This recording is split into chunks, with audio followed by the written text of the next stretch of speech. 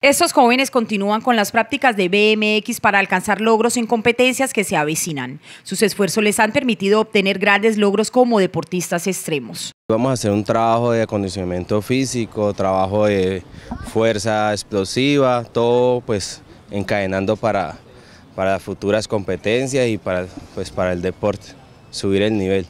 Bueno, del Club Arranca fue, participó dos jóvenes, la niña, la subcampeona, la Sarita, Sarita García y Epifanio Vesga. Eh, Sarita, que en su categoría de damas 12 años, el primer día que voy tercera y el segundo día que voy cuarta. Y Epifanio Vesga, el primer día estuvo una caída en la, en la semi expertos y en crucero tuvo caída en la final y quedó octavo.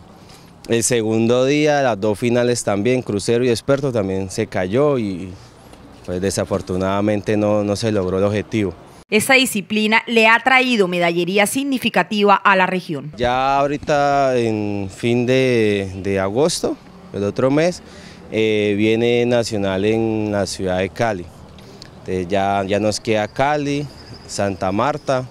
Bueno, esto es un deporte extremo, sí, claro, pero Acá se, llama mucho la dedicación porque con esfuerzo y dedicación es que se logra, por, como tú lo dices, como es extremo, agresivo, entonces el nivel tiene que ser muy alto para poder estar en, las competencias. Es un deporte muy completo que maneja toda la, la, parte motriz de ellos, es, es muy, muy completa, muy coordinativa, muy exigente.